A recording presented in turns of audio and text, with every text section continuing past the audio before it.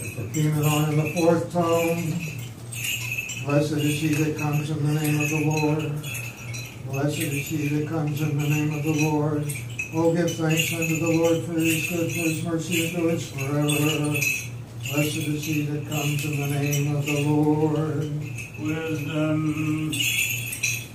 The readings from the letter of St. Paul to the Philippians. Wisdom, let us attend. Brethren, rejoice in the Lord always. Again, I will say, rejoice. Let your forbearance be known to all people. The Lord is at hand. Be anxious for nothing, but in everything by prayer and supplication with thanksgiving, let your petitions be made known to God. And the peace of God, which surpasses all understanding, will guard your hearts and your minds in Christ Jesus. Finally, brethren, whatever things are true, whatever things are honorable, whatever things are just, whatever things are pure, whatever things are lovely, whatever things are good report, if there is any virtue, if there is any praise, think about these things, the things which you both learned and received and heard and saw in me. These things do, and the God of peace will be with you. Peace be to thee that readeth.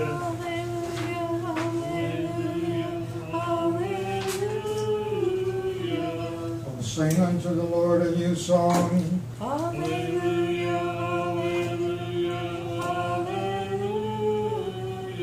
the ends of the earth have seen the salvation of our God. Wisdom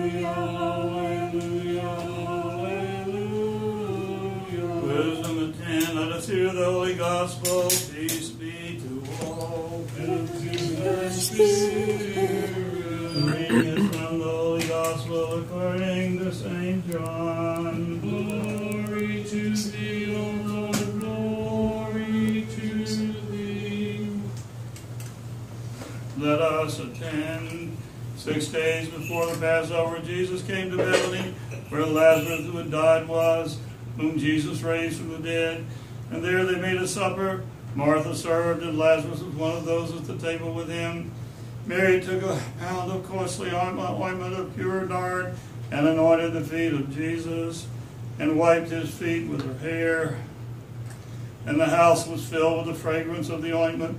But Judas Iscariot, Simon's son, one of his disciples, he who was to betray Jesus, said, Why was this ointment not sold for 300 denarii and given to the poor? And then he said, This not because he cared for the poor, but because he was a thief, and as he had the money box, he used to take what was put into it. And Jesus said, Let her alone. Keep it for this day for my burial. For the poor you will always have with you, but you do not always have me. When the great crowd of Jews learned that he was there, they came, not only on account of Jesus, but also to see Lazarus, whom Jesus had raised from the dead. So the chief priests planned to put Lazarus also to death, because on account of him many Jews were going away and believing in Jesus. The next day, a great crowd who had come to the feast heard that Jesus was coming to Jerusalem. So they took branches of palm trees and went out to meet him, crying, Hosanna! Blessed is he who comes in the name of the Lord, the King of Israel. Jesus found a young ass and sat upon it. And as is written, Fear not, daughter of Zion, for behold, your king is coming, sitting on an ass's colt. His disciples did not understand at first, but when Jesus was glorified, then they remembered that this had been written of him and had been done to him. The crowd had, had been with Jesus when he called Lazarus out of the tomb and raised him from the dead, bore witness. The reason why the crowd went to meet Jesus was they heard that he had done this sign.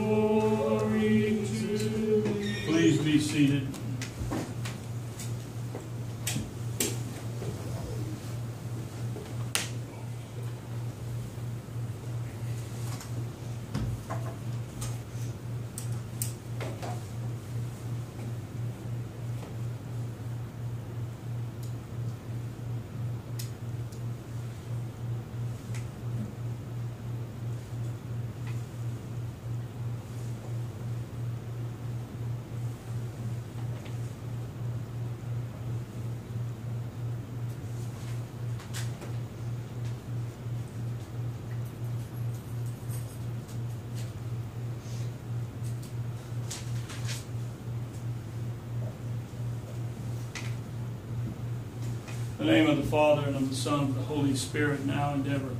Ages of ages. Amen. Um,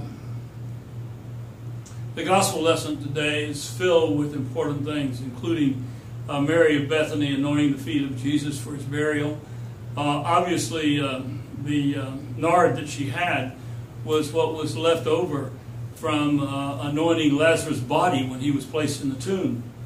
And somehow um, the instinct occurred to her to anoint Jesus for burial, even though it was not obvious yet that he was going to be buried. Uh, and of course, Judas complained because he wanted the money to be put in the money box. His excuse was money for the poor. But uh, Jesus had said, you know, hey, don't bother her. Uh, what she done will be remembered. She's preparing me for my burial.